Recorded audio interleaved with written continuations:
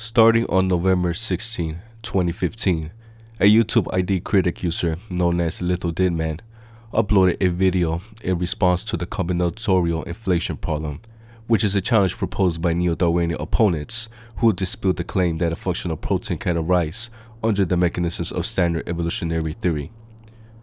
The combinatorial inflation problem, in terms of protein evolution, argues that a functional protein arising through natural selection and random mutations is ridiculously unlikely or virtually impossible to occur, given the extreme ridiculous odds against chance. In the famous case of Douglas Axe, as more residues are added in the given protein, the more unlikely and bigger the combination of all different types of amino acid sequences becomes. In a protein with a length of 150 amino acids, the probability of finding a functional protein is 1 out of 10 to the power of 77 different amino acid sequences that will not fold properly and fail to perform a specific function necessary for the cell. Advocates of this combinatorial problem see this as irrefutable or at least very strong evidence against protein evolution predicted by standard neo-Darwinian theory. Critics like LithodidMan in defense of protein evolution, however, dispute this as what will be shown in the video that you're about to see. Hello, I'm going to talk about uh, Darwin's Doubt again. I'm going to continue this on, and this time I'm going to look at his probably his weightiest chapter, or at least the one that's off the most often brought up to me as um, irrefutable, which is chapter nine, combinatorial inflation. Okay, and this is the beautiful thing. Um, now you look at this, and now this is his his calculations, um, and then he cites a number of others are all uh, hypotheticals, meaning, I mean, they're ones that, you know, people plug numbers into a computer, plug numbers into their calculator, and they come up with these numbers and go, well, evolution's impossible. Look at that. Look at those big, giant numbers we have. Um, but it's not, it's not necessarily experimentally derived. Um, but then when you start looking at the literature on this, um, I don't I don't have a paper copy of it. Uh, I have an electronic copy of it, but I will put a link down below. It's free online. Uh, paper by Keefe and hopefully I don't mess this up. Szostak, Szostak. Um, sorry, I apologize if anybody knows him and I butchered his name. Um, I have a hard time with that, those SZ combinations. I think. Anyway, uh, so they did.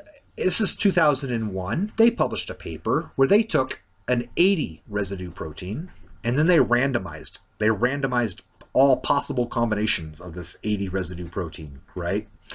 Um, just to see, and then they, they were looking for they were they were directing towards a particular result now. Okay, in other words, selection, um, artificial selection in this case. They were looking for ATP binding affinity. Okay, so this is a randomized.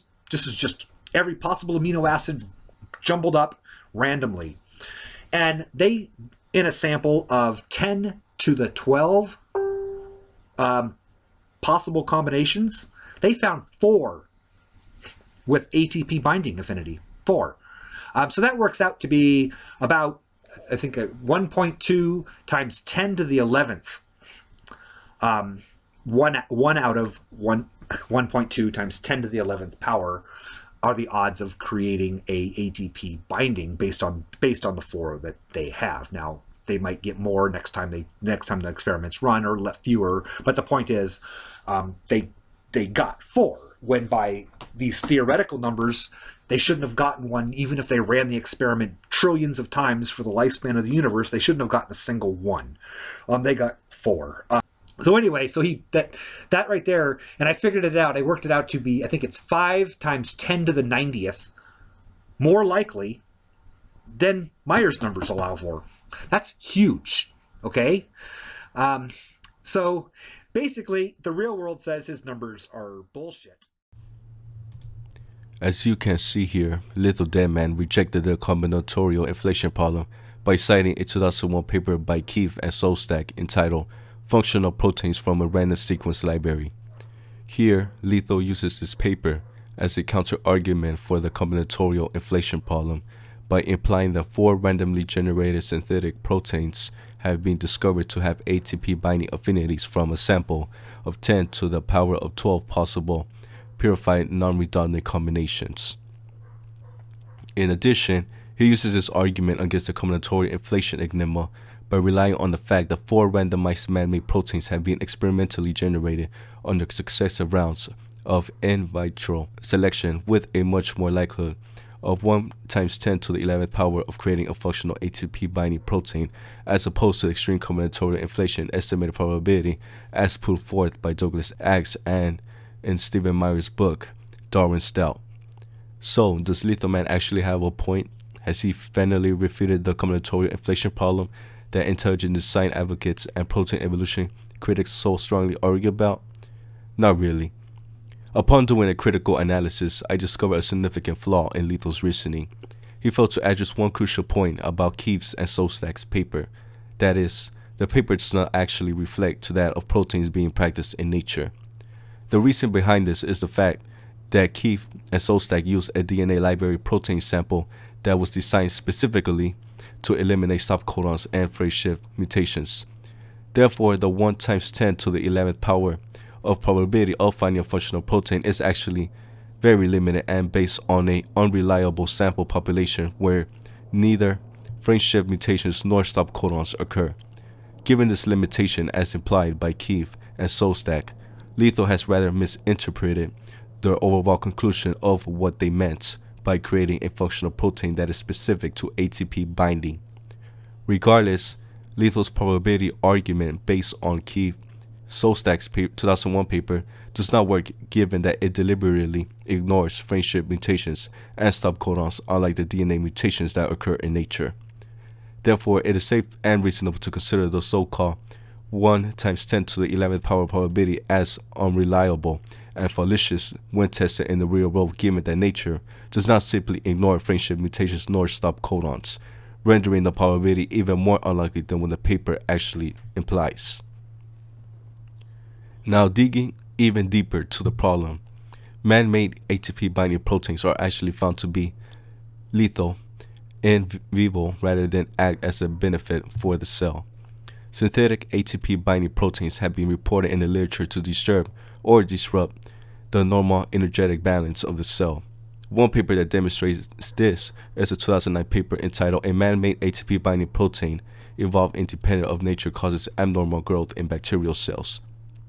Here, researchers synthesized a high affinity ATP binding protein that was generated from an unconstrained pool of random amino acid sequences and tested its effects using bacterial samples of E. coli. To their surprise, they discovered that the synthetic protein named DX has caused drastic effects to the normal energetic balance of the cell, affecting cell division, metabolism, as well as growth in E. coli, despite its high affinity in ATP binding. It was later discovered in the same paper that the man-made DX ATP binding protein acted as a bacteriostatic against the E. coli. This protein, rather than being beneficially useful in evolutionary terms, has rather become counterproductive and harmful in vivo.